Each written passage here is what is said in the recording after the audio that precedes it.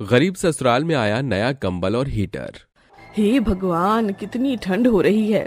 अरे गीता, जल्दी से घर का दरवाज़ा बंद कर दे। ठंडी ठंडी हवाएँ घर के अंदर आ रही हैं। इस सर्दी ने तो बहुत ज़्यादा हालत खराब कर दी है। सही कहा माँ जी आपने, बिल्कुल। सर्दी बहुत ज़्यादा हो रही है। इस सरसराती सर्दी में गुजारा करना, ऊपर से देख रही हो, लकड़ियाँ भी गीली हो चुकी हैं। रात भर ठंड के कारण ओस गिरती रही और सारी लकड़ियाँ गीली हो गईं। हाँ बहू, चल मैं राशन लेने जा रही हूँ। सरकार की तरफ़ से फ्री का राशन मिलता है। ऐसे कैसे छोड़ दूँ? ऐसा कहने के बाद नीलम राशन लेने चली जाती है और गीता मुन्ना को सुलाकर घर के कामों में लग जाती है। ओहो हो, कितनी ठंड हो रही है, कितना ठंडा पानी है। बिल्कुल सुई की तरह चुभ रहा है। कुछ ही देर में नीलम सरकार द्वारा मिला हुआ फ्री का राशन लेकर घर में रख देती है, जिसमें एक बोतल मिट्टी का तेल भी होता है। यह सामान यहीं रख देती हूँ और थोड़ी सी लकड़ी लाकर सबसे पहले मिट्टी के तेल से लकड़ियाँ जलाऊँगी।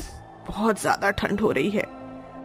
नीलम ऐसा सोचकर लकड़ी लेने के लिए चली जाती है। तो वहीं गीता का मुन्ना जग जाता है, जिसके बाद वह लुढ़कते लुढ़कते मिट्टी के तेल की बोतल के पास पहुँच जाता है और वह उसी के साथ खेलने लगता है और इसी के चलते मिट्टी के तेल की बोतल पूरी खाली हो जाती है और सारा मिट्टी का तेल बहता हुआ कंबल पर पहुँच जाता है। तभी वहाँ नीलम आती है। अरे ये सब क्या हो गया? यह मुन्ना ने क्या कर दिया? सारा मिट्टी का तेल कंबल के ऊपर ही गिरा दिया। पूरा का पूरा कंबल खराब हो गया। नीलम को ऐसा बोलते देख गीता फ़ौरन सारे काम छोड़कर घर के अंदर आती है जहाँ वो देखती है कि पूरे कंबल पर मिट्टी के तेल और घर के अंदर चारों तरफ़ मिट्टी के तेल की बदबू फैल जाती है। अरे माँ जी ये सब क्या हो गया? ये सब कैसे हुआ? नीलम गीता को बताती है जिसे सुनने के बाद वह भी बहुत ज़्यादा उदास हो जाती है। उनके पास एक ही तो कंबल था जो कि अब खराब हो चुका था। हे भगवान अब हमारी सर्दियाँ कैसे बीतेंगी? इस कंबल के सहारे ही तो हम लोग जैसे तैसे करके गुजारा कर रहे थे। लेकिन देखो अब ये कंबल भी नहीं बचा। अब हम लोग रात को ठंड में क्या ओढ़ेंगे? सही बोल रही हो माँ जी पूरे कंबल में मिट्टी का तेल तेल हो चुका है। अगर जरा भी कोई चिंगारी हुई तो पूरा कंबल जल जाएगा, जिससे हमारी जान को खतरा है। गीता ऐसा कहकर उस कंबल को अपने घर के बाहर आँगन में फेंक देती है। और वहीं दूसरी तरफ़ उसका पति उमेश गाँव के नाले में ठंडे ठंडे गंदे पानी में घुसकर साफ़ सफ़ाई कर रहा होता है। हाय हाय, बहुत ठंडा पानी है, और ये ठंडी ठंडी हवाओं में तो और भी ज़्यादा ठंड लग रही है। हाय, क्या करूँ? मेरे तो पैर भी अकड़ गए हैं। इसी पानी के अंदर खड़े खड़े। उमेश ऐसा बोल ही रहा था कि तभी उसका मालिक आता है और उसे डांटने लगता है। यहाँ पर बेफालतू में तुझे खड़ा करने के पैसे नहीं दे रहा हूँ मैं। जल्दी जल्दी नाले से गंद निकाल और इसे साफ़ करके बाहर आ। अभी और भी नाले साफ़ करने हैं। उमेश क्या ही करता बेचारा। वह चुपचाप डांट सुनने के बाद भी नाले साफ़ करता है और अपना काम करता रहता है। शाम को वह काम करने के बाद अपने मालिक के पास पैसे लेने जाता है लेकिन उसका मालिक उसी समय बहाने बना देता है। काम का आज दूसरा दिन है और तू इतनी जल्दी पैसे लेने आ गया। अभी कोई पैसे नहीं है। कम से कम हफ़्ता भर तो काम कर उसके बाद पैसे देता हूँ। ठीक है मालिक जैसा आप कहो लेकिन हमारे घर में बहुत परेशानी है मालिक। दो चार दिन में पैसे दे देना। हाँ हाँ चल ठीक है। अब जा यहाँ से। पता नहीं कहाँ से मुँह उठाकर आ जाते हैं। यह सुनकर उमेश अपने घर वापस लौट आता है जहाँ उसे बहुत ज़्यादा ठंड लगती है और वह आते ही सबसे पहले अपनी पत्नी से कहता है अरे यहाँ मुन्ना चटाई पर ऐसे ही लेटा हुआ है। कंबल कहाँ है? मुन्ना को ठंड लग गई तो? और मुझे भी ठंड लग रही है। उमेश के पूछने पर गीता उसे सब कुछ बताती है जिसे सुनने के बाद उमेश भी बहुत ज़्यादा परेशान हो जाता है। अब उनके पास और कोई साधन नहीं था, जिसके चलते बेचारी गीता घर के कोने में देखती है कि दो फटे हुए पर्दे पड़े हुए हैं, जिससे वह पर्दों को जोड़कर बड़ा कर लेती है। और रात को वह सभी एक साथ जब सोते हैं तो पर्दे ही ओढ़ लेते हैं। रात भर उन्हें बहुत ज़्यादा ठंड लगती है। अगले दिन सुबह तक उमेश की और मुन्ना की बहुत ज़्यादा तबीयत खराब हो जाती है। क्या हुआ जी? अभी तक सो रहे हो? काम पर नहीं जाना है क्या? जैसे ही गीता उमेश को हाथ लगाती है, उसका बदन बहुत ज़्यादा तप रहा होता है। अरे ये क्या? इनका बदन तो बहुत ज़्यादा तप रहा है। लगता है रात भर ठंड में सोने की वजह से हालत खराब हो गई है। वहीं जब गीता अपने बच्चे मुन्ना को दूध पिलाती है तो उसकी तबीयत भी खराब हो जाती है और वो भी बुखार में होता है। देखो ना माँ जी, एक ही दिन में क्या हो गया? यहाँ पर उमेश जी की तबीयत खराब हो गई और यहाँ मुन्ना भी बुखार में पड़ा है। हमारे पास तो इतने पैसे भी नहीं है कि हम इन्हें दवाइयाँ दिला सके। ये कैसी मुसीबतें पड़ रही हैं। ऊपर से यह ठंड भी बढ़ती ही जा रही है। नीलम ऐसा कहते हुए कप कपा रही होती है। अपने परिवार की यह हालत देखकर गीता को बहुत दुख होता है। उसने जो पैसे जोड़े हुए होते हैं, उन पैसों से वह अपने पति और अपने मुन्ना को दवाई तो दिला देती है, लेकिन बिना कंबल के उन्हें जरा भी आराम नहीं मिल पाता। लगता है मुझे ही कुछ करना होगा। उमेश जी की तबीयत के चलते अब वह काम पर तो जा नहीं पाएँगे। घर का गुजारा भी करना है और मुन्ना को दवाई भी दिलानी है। गीता ऐसा सोचकर काम ढूँढने के लिए निकल पड़ती है। सारा दिन यहाँ से वहाँ धक्के खाने के बाद उसे कहीं काम नहीं मिलता। लेकिन बहुत मुश्किलों के बाद एक औरत उस पर तरस खाकर उसे अपने घर की साफ़ सफ़ाई का काम दे देती है। लेकिन वह औरत बहुत ज़्यादा खड़ूस होती है। उसके पास कोई भी नौकरानी टिक नहीं पाती थी। क्योंकि उसे किसी पर भी भरोसा नहीं होता। जितना काम बता रही हूँ, उतना ही करना है, और कभी भी हमारे कमरों के अंदर नहीं जाना है। याद रखना, जो कहा है अगर तुमने नहीं माना तो जब नौकरी से निकालूँगी तो एक फूटी कौड़ी नहीं दूँगी। अभी तो मुझे पैसों की बहुत ज़रूरत है। मेरे पास यहाँ काम करने के अलावा और कोई चारा भी नहीं है। ये जैसा कहती है, मुझे कर लेना चाहिए। गीता ऐसा सोचकर वहाँ काम करना शुरू कर देती है। वहाँ काम करते करते उसे कुछ दिन हो जाते हैं, जिसके चलते केसरी उसकी नियत को देखने के लिए जहाँ मर्ज़ी अपने पैसे छोड़कर चली जाती। लेकिन जब वह वापस आती तो उसे उसके पैसे वहीं पर मिलते। इसी के चलते केसरी को गीता के ऊपर भरोसा होने लगता है। लेकिन एक दिन केसरी उसे थाली में कुछ ले जाते हुए देखती है। मुझे तो पता ही था ये लड़की चोर है। ज़रूर कुछ चुरा कर ले जा रही होगी। देखो तो सही, आखिर कहाँ जा रही है? और इसने क्या चुराया है? आज तो मैं इसे रंगे हाथ पकड़ूँगी। केसरी ऐसा सोचकर गीता का पीछा करती है। गीता जैसे ही घर पहुँचती है, वह उस थाली के अंदर से केसरी के घर का बचा हुआ खाना निकालकर अपने परिवार को खिलाती है और कहती है, मेरी मालकिन बहुत खड़ूस है। उसे बताकर लाती तो शायद खाना नहीं देती, क्योंकि उसे तो मुझ पर भरोसा ही नहीं है, और मैं आप लोगों को भूखा नहीं देख सकती थी, इसलिए वहाँ से खाना चुरा कर लाई हूँ। ये लीजिए, खा लीजिए। अपनी आँखों से यह नज़ारा देखकर केसरी को उन लोगों पर बहुत तरस आता है, जिसके चलते वह उन्हें देखकर अपने मन में सोचती है, कितने गरीब हैं ये लोग। पास तो खाना भी नहीं है, ऊपर से घर के पर्दे ओढ़ लेते हैं, न कंबल है, न हीटर है। किस तरह से गुजारा करते होंगे? केसरी ऐसा सोचकर वापस घर लौट आई है। अगले दिन जब गीता काम करने के लिए केसरी के घर पर आती है, केसरी उसे एक नया कंबल, हीटर और कुछ पैसे देकर कहती है। एक बार मुझे किसी पर भरोसा हुआ है। यह लो, एक कंबल, हीटर तुम्हारी सर्दी के लिए। और यह कुछ पैसे हैं, ये तुम्हारे काम आएँगे। कंबल और हीटर को देखकर गीता की आँखों में आँसू आ जाते हैं। वह अपनी मालकिन से कुछ कह नहीं पाती। उस दिन वह बहुत खुश होती है। वह कंबल और हीटर को अपने घर ले आती है, जहाँ वो हीटर अपने टूटे फूटे घर में चला देती है। देखा, कितनी जल्दी इसने हमारे इस टूटे फूटे घर को भी गर्म कर दिया। अब तो ठंड ही नहीं लग रही है। ये लो उमेश जी, कंबल ओढ़ लो। आपको बहुत ठंड लग रही थी। अब आपकी जल्दी से तबीयत ठीक हो जाएगी और मेरा मुन्ना भी ठीक हो जाएगा। कंबल और हीटर को देखकर सभी लोग बहुत खुश होते हैं। आखिरकार गीता की मेहनत सफल हो जाती है। वहीं कुछ लोग बाहर से खड़ूस तो होते हैं, लेकिन दिल के बहुत नरम होते हैं और वह दूसरों की मदद भी करते हैं। बहुओं तुम तीनों अब से काम पर नहीं जाओगी। ऐसे गर्भवती हालात में तुम्हें ये काम वाम नहीं करने दूँगी मैं। माँ जी हम काम नहीं करेंगे तो घर का किराया कहाँ से भरेंगे? और हाँ एक बात और हम पर तो फिर खाने के लिए पैसे भी नहीं हैं। जानती हूँ बहू लेकिन ऐसे गर्भवती हालात में वो भी जब सर्दी पड़ रही हो मैं तुम्हें काम करने नहीं जाने दूँगी। तुम्हारी जगह आज से मैं काम पर जाऊँगी। माँ जी ये आप क्या बोल रही हो? इतनी सर्दी में नदी पर कपड़े धोना आसान नहीं है, और आपकी तो वैसे भी अब उम्र हो चली है। मैं भला ही जिस्म से बूढ़ी हो गई हूँ, लेकिन बेटा, मैं हार मानने वालों में से बिल्कुल नहीं हूँ। मैं तुम्हारी जगह काम पर जाकर सब कुछ संभाल लूँगी। मेरे माँ बाप ने बचपन में मुझे घी की रोटियाँ खिलाई थी, इसीलिए ये जिस्म अब भी काफ़ी ताकतवर है। तुम तीनों घर में रहकर अपना और इन नन्ही जानों का ख्याल रखना।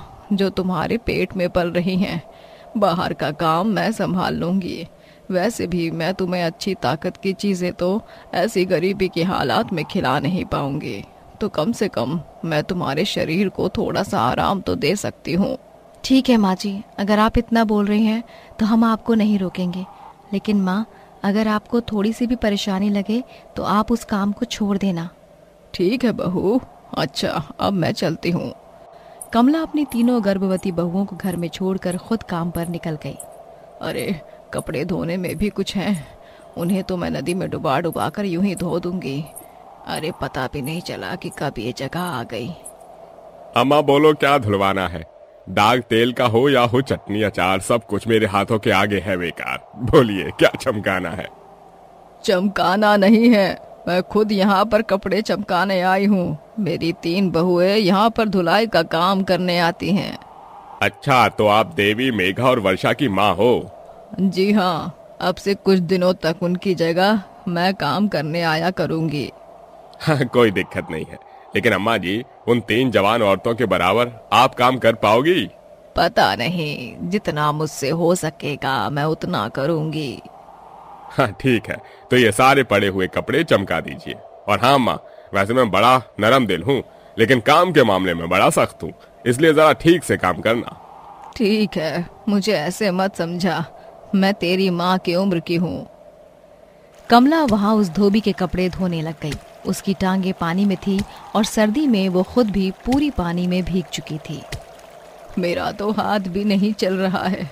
पता नहीं मेरी बहुएँ कैसे ये काम कर लेती हैं। बेचारी बूढ़ी कमला ने बहुत देर तक उन कपड़ों को धोया लेकिन लगभग दो घंटे के बाद कमला के हाथ ठंड की वजह से चलना बंद हो गए। मुझे तो बहुत सर्दी लग रही है। अब मुझसे ये कपड़े नहीं धुल पाएँगे। क्या हुआ अम्मा जी? क्यों रुक गई? मेरे तो सर्दी से हाथ पाँव जाम हो रहे हैं। क्या मैं कुछ देर बाद काम कर लूँ? अम्मा मैंने आपको शुरू में ही बोल दिया था कि मैं हर चीज़ में समझौता कर सकता हूँ लेकिन काम में नो कॉम्प्रोमाइज और वैसे भी आपकी जितनी उम्र हो चली है अब आपसे काम नहीं होगा। आप अपने घर जाइए। पर मेरी बात तो सुनो। अम्मा मुझे ज़्यादा मत समझाओ। तुमसे अब यह हो ना पाएगा। इसलिए अच्छा होगा कि तुम घर जाकर मेथी तोड़ो और गर्मा गर्म बैठ कर पराठे बनाओ। मुझे ज़्यादा अपनी सलाह मत दे। क्या हो अम्मा अब तुम्हारे शरीर में काम करने की जान नहीं है तो तुम आज का अपना मेहनताना लेकर घर लौट जाओ। उस धोबी ने कमला को काम पर से निकाल दिया और जितने उसने कपड़े धोए थे उन सभी का मेहनताना उसे दे दिया। कमला उन पैसों से अपनी बहुओं के लिए ताकत की दो एक चीज़ें ले आई। माँ अरे तुम इतनी जल्दी कैसे आ गई?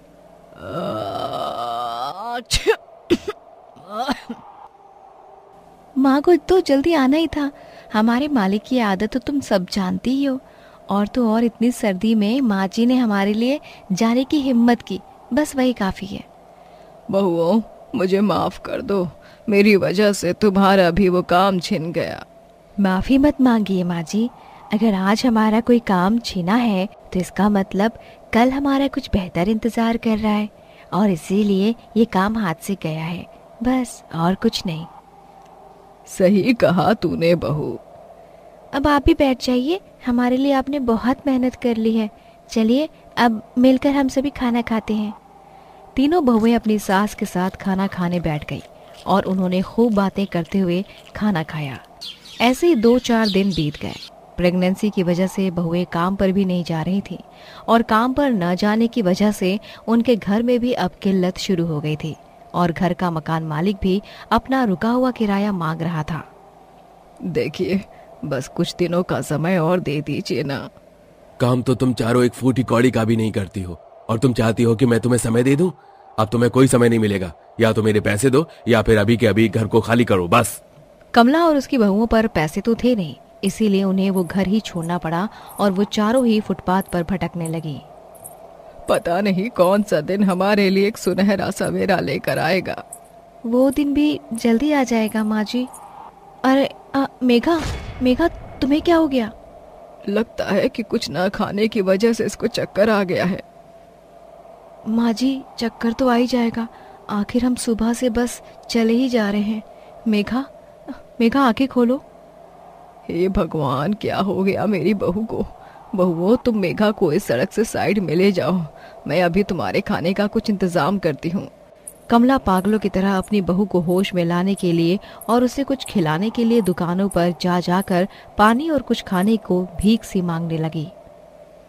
अरे भाई साहब, मुझे थोड़ा सा पानी और कुछ खाने को दे दो। मेरी बहू पेट से है और वो बेहोश हो गई है। उसी को खिलाना है। अरे जाओ जाओ बूढ़ी अम्मा।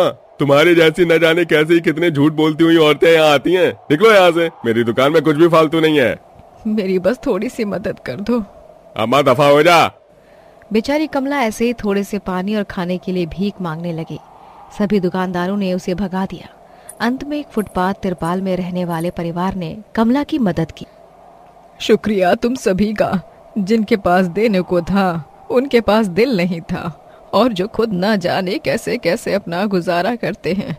उन्होंने मेरी मदद की। शुक्रिया। लोग सही बोलते हैं कि या तो भगवान पैसा देता है या फिर दिल। दोनों एक साथ होना नामुमकिन जैसा है। शुक्रिया। कमला उन लोगों के पास से लाया हुआ थोड़ा सा आटा और पानी अपनी बहुओं के पास ले आई और मेघा के मुँह पर पानी का छीटा डालकर उसे जगाया। शुक्र है तुझे होश आ गया। बहू अब तुम तीनों यहीं रहो। पहले कुछ खा लो उसके बाद हम रहने को ठिकाना ढूंढेंगे। माँ हमें यही एक खाली कुटिया मिली है। चलिए हम अपना सर उसी के नीचे ढक लेंगे। सच? लेकिन तुम तो मेघा के पास थी फिर कैसे? मैं मेघा के लिए पानी ढूँढने गई थी। मुझे वो तब मिली। अच्छा तो चलो बहुओं वही चलते हैं। कमला और उसकी बहुएँ उस कुटिया में चली गई। और उन्होंने उसी के पास उगी हुई हरी घास को तोड़ लिया और उसे आटे के साथ गूंद कर उसकी हरी हरी रोटियाँ बना दी। अभी तो मेरे पास तुम्हें खिलाने को यही है मेरी बहुओं। ये लो ये घास की रोटियाँ खा लो। हम ये खा तो लेंगे माँ जी लेकिन आप ये वादा कीजिए कि आप हमें कोई भी काम करने से अब रोकेंगी नहीं। एक दिन की ही गरीबी ने हमें घास की रोटियाँ खिलवा दी हम कपड़े धोने जैसा मेहनत का नहीं लेकिन किसी के घर का खाना बनाने जैसा काम तो कर ही दिया करेंगे। ठीक है बहुओं अगर तुम कर सकती हो तो करो। हम आपकी मोहब्बत जानते हैं माँ। आप हमसे बहुत प्यार करती हो लेकिन काम करना हमारे लिए ज़रूरी है। ठीक है मैं समझ गई। लेकिन हाँ ज़रूरत से ज़्यादा काम मत करना। ठीक है। फिर क्या था? अगले दिन तीनों ही बहुएँ काम ढूँढने लगी और उन तीनों को ही एक बड़े स्कूल की रसोई में बच्चों के लिए खाना बनाने का काम मिल गया। उसके बाद से फिर कभी उन्हें घास की रोटियाँ नहीं खानी पड़ी। अब उनके पास एक अच्छी सी छत भी थी जिससे उन्होंने हर फुटपाथ के गरीब की मदद की और इसी बीच इनकी डिलीवरी भी हो गई और अब वो लोग खुशी खुशी रहने लगे थे।